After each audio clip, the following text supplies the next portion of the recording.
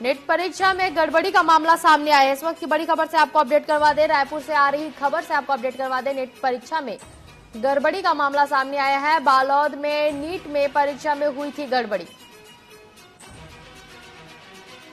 NEET exam में गड़बड़ी का मामला सामने आया है। आपको बता दें, बालौद ज़िले में नीट एग्ज़ाम में गड़बड़ी हुई थी। मामले को लेकर कांग्रेस कांग्रेस प्रतिनिधि मंडल राजभवन पहुँचे।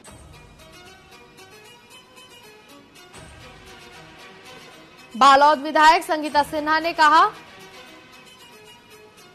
नीट के पेपर को लेकर राज्यपाल से मिलने आए थे। बालौद जिला में नीट एग्ज़ाम में गड़बड़ी का मामला सामने आया है। नीट के पेपर को लेकर राज्यपाल से मिलने आए थे।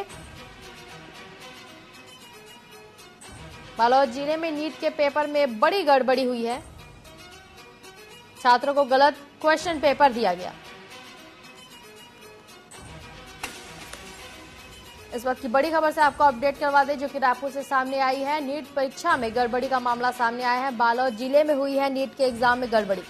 छात्रों को गलत पेपर दिया गया है, नीट परीक्षा में गड़बड़ी हुई है। इस वक्त की बड़ी खबर से आपको अपडेट करवा दें, रायपुर से आ रही है।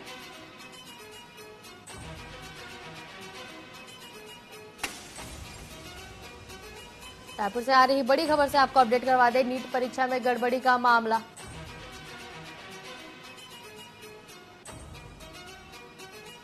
आइए आपको सुनाते हैं क्या कुछ कहा है संगीता सिन्हा ने। अगर किसी कारणवश बच्चे, अगर इनसे न्याय नहीं मिलता है और बच्चे किसी कारण अगर आत्महत्या कर ले, सुसाइड कर ले तो इसकी ज़िम्मेदारी कौन लेगा? कौन होगा इसकी जिम्मेदार?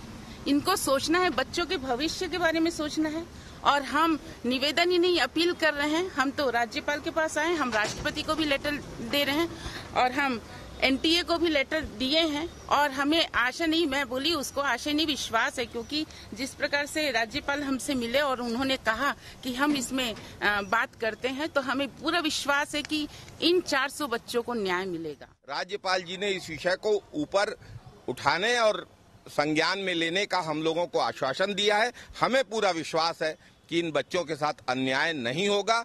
इन बच्चों के साथ न्याय होगा, या तो उनको ग्रेस मार्क्स दिए जाएँ और या फिर इस परीक्षा को वहाँ फिर से कराया जाए, यही हमारी मांग है।